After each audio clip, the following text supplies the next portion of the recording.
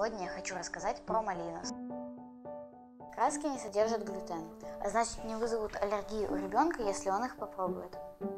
Краски густые и мягкие, они очень приятные на ощупь. Плотность пигмента очень высокая, поэтому краски очень яркие. Краски не вытекают из баночки, даже если ее перевернуть вверх дном. Краски натуральные. Их легко отстирать с одежды, смыть с мебели и рук. А теперь обычная влажная салфетка, я сделаю руки чистыми и вытру стол. Как видите, все получилось. Краски яркие и безопасные. Их легко смыть с мебели и рук и отстирать с одежды. Всем пока!